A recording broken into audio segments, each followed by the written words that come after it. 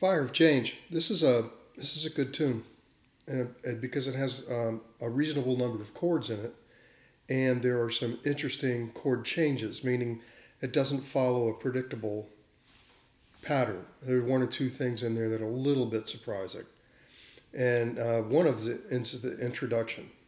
But I'll come back to that. It's chorded out for you on that chart that I made, so I'll, I'll come back to that intro part.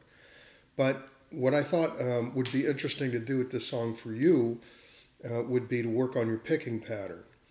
And this is new. We haven't talked about this yet, but what I'm going to basically do here is take these three fingers and make a, an imaginary pick.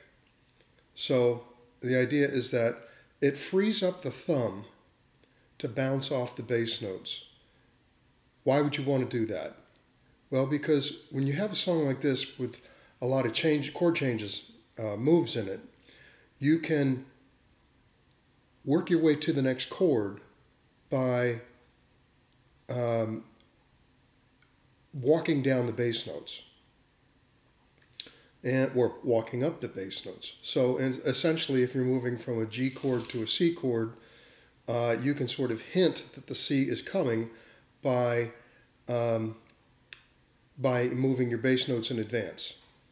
And uh, what that does is it is it relaxes the listener's ear a little bit because they can anticipate where they're where you're going with it, and the surprises aren't so abrupt.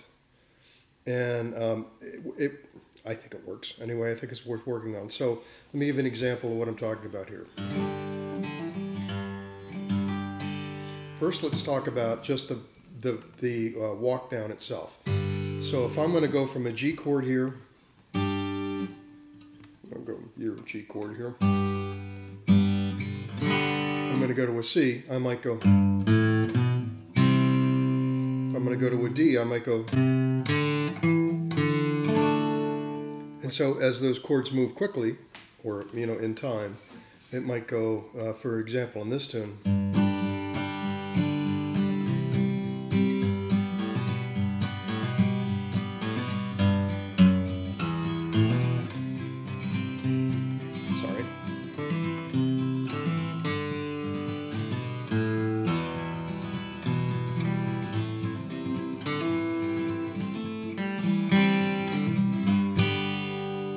That's the idea.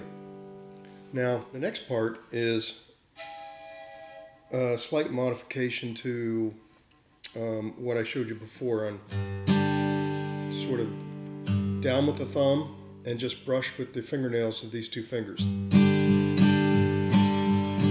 Could use with just one, but if you use two, it gives it a slightly different effect and one uh, one nail drags behind, slightly behind the other, and I think it gives it a fuller sound.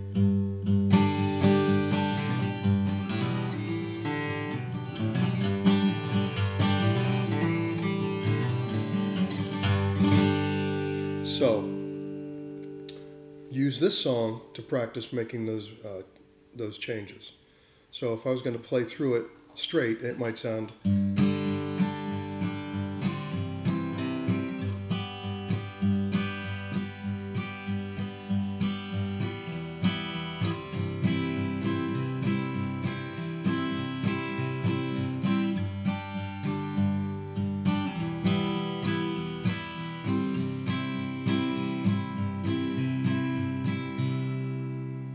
And other than staying in the key, there's no hard or fast rule for how you move those bass notes.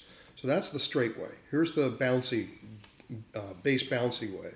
So I'm gonna I'm gonna play some bass notes that lead into the next chords.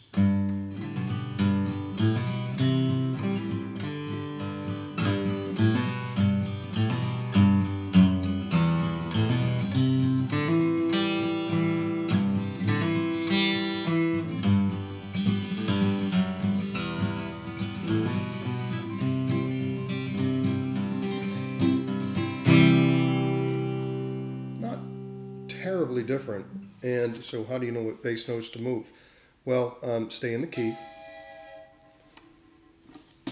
Stop that. Stay in the key. And um, so, if you're in a G, there's your notes walking up to a C. You want to go to an F. You know, you want to go down to from a G to an E minor. It's really easy. Got to do.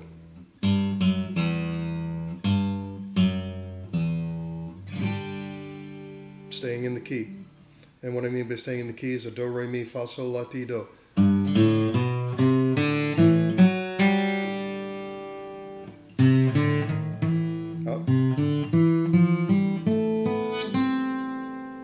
That's staying in the key.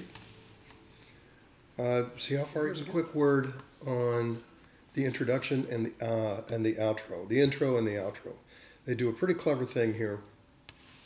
We're in the key of G.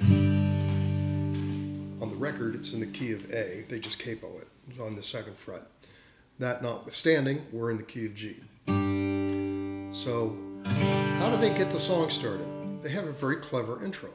It's simple chords, but the chords you may not expect. It leads the ear in an interesting way. So, they start with a C. Go to A7. And go to a D. on the last day of summer. So, and then they're into the song. I think it's pretty cool. So, uh, there's a similar thing for the outro. Um, you have, uh, and on your notes section there, you'll see the little slant lines and then the chords uh, for the intro and the outro only. That's because in the absence of words, this is to indicate how many beats you stay on each chord. So when you see a slant line and then a chord, that chord's going to live for the duration of four beats unless there's another chord in there. So if it's just G and then another slant line, you sit on G for four, sit on A7 for four. For example, here comes the, and they get to the outro from um, the chorus, and I'm just going to play from the middle of the chorus, but just one in hundreds on the Allegheny Range, right?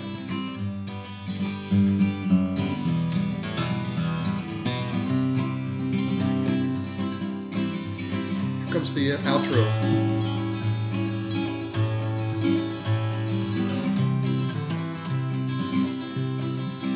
And here comes. Two chord. And they end on the six minor of the G. It's the relative minor of the G which brings up one last thing, and then I promise to shut the hell up. But every major chord has a minor chord, a relative minor chord. Every minor chord has a relative major chord. explain all that later, and when we talk about, particularly when we talk about the Nashville notation system, and I'll explain that in a different uh, in a different sequence. But it's good to know about majors and uh, the relative minors. It just so happens that the key of, or the chord of G has a relative minor of E minor. Entire songs are written just behind the, the idea, the construct of uh, a song moving from a major chord to its relative minor chord and then back again. So in, in the case of C, relative minor is A minor.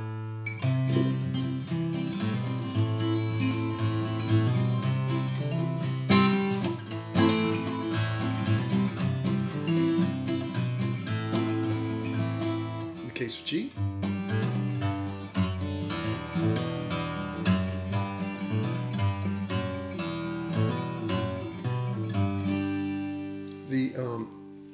the idea being that if you're going to go between the relative minor, uh, the relative minor and its major form, uh, the best way to do that in most cases is to introduce the idea by moving into the chord with bass notes and it's a good thing to practice. And this is a good song to practice it on. See how far you can get.